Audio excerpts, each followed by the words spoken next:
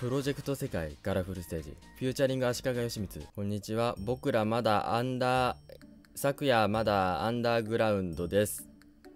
いやおもんな。とりあえずあの前回出した動画がですねあのボカロ曲だったんですよね。で ですよね。ってなんかあの特徴的なキャラになったな。でその動画がですねあの再生数結構低いんですよ。低いんですけど高評価めちゃめちゃ多くてですね本当にありがとうございます。いやー本当にねあのめちゃめちゃあのよくできてるっていうか面白い曲になってるんであのかっこよくて面白い曲になってるんで中毒性もあるね。ぜひねあの聞いてない方あのチップストで検索しても出てこないんで俺のあのホーム画面に行ってあのー、聞いてみてください。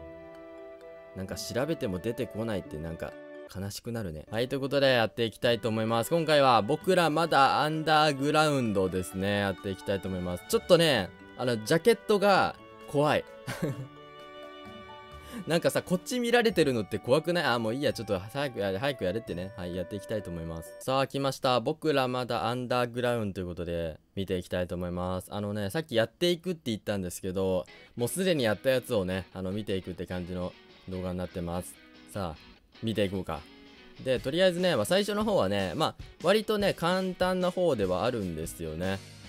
ちゃかちゃかちゃんって、ここちょっとね、あの、見づらかったんですけど、まあ、いい感じ。これさ、あのさ、え、原曲の MV 俺、普段ね、めちゃめちゃ見てたわけじゃないんですけど、昔ね、この曲めっちゃ聴いてて、そう。で、MV こんなんだっけなとか思って。確か俺がき、あ、来たえ、なんか、待って、ねえ。ねえ、そういや、俺ミスったんだった、この曲で。ねえ。そうだ俺さなんか28だと思ってさ結構舐めてかかってたのよ。今初見フルコンボいけるだろみたいな感じで勝手に思ってたんですけどもう余裕で最初の方ミスるっていうね。なんかチャカチャカチャカチャカの初音ミクに意地悪されたみたいな。いや勝手にミスっただけだな。とりあえずでもない。いやこの曲結構好きなんですよね。てかさあの初音ミクでこれ聴けるのって結構珍しい気がするんだよね。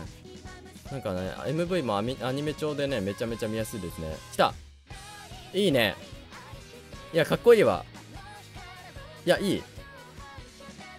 じゃんじゃんじゃじゃんじゃんじゃんじゃんじゃん。じゃんじゃじゃんじゃんじゃじゃんじゃんじゃじゃじゃじゃんじゃじゃんじゃじゃん。じゃじゃいいねかっこいい。めっちゃかっこいいんだけどねねねめちゃめちゃ歌がかっこいいやっぱり。なんか昔聴いてた曲だけあってさなんか蘇ってくるね。昔聴いたなんかアンパンマンのマーチとかもさ久々に聴いたらめっちゃかっこいいみたいなあるじゃん。僕らまだ昨夜グラウンド、あ、思んなかったわ。えー、とりあえずやってって、あ、すごいな、ここは MV。なんかもう、いろんなさ、景色がガーって出てくるんだね。普通に音ゲーする分には、なんか、なんか 邪魔になんないかなとは思っちゃうけどね。でもね、演出はすごいですね。さあ、来ました。これで？終わりかな？これで。いや、まさか見せると思わなかったな、俺。B ランクだし、しかも、全然スコアいってないし。これで、バンって言って終わりましたね。なんか最後、はい。最後高森でした。さあ来ました。とりあえず見ていこうか。えっ、ー、と初見でやっていきました。